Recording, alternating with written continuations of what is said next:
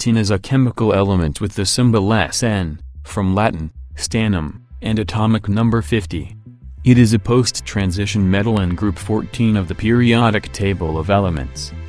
It is obtained chiefly from the mineral cassiterite, which contains stannic oxide. Tin shows a chemical similarity to both of its neighbors in group 14, germanium and lead, and has two main oxidation states, plus 2 and the slightly more stable plus 4.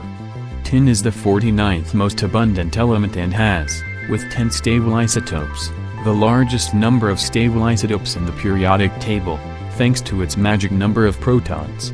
It has two main allotropes, at room temperature.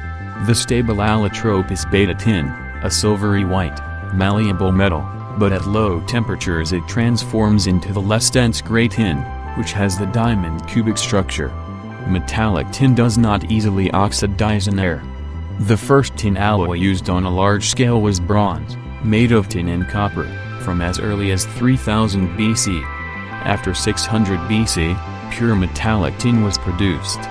Pewter, which is an alloy of 85 to 90% tin with the remainder commonly consisting of copper, antimony, and lead, was used for flatware from the Bronze Age until the 20th century.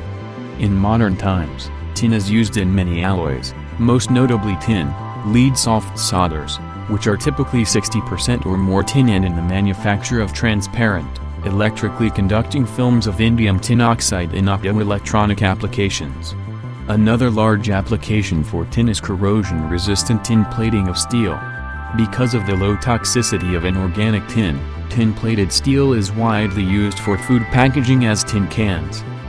However, some organotin compounds can be almost as toxic as cyanide.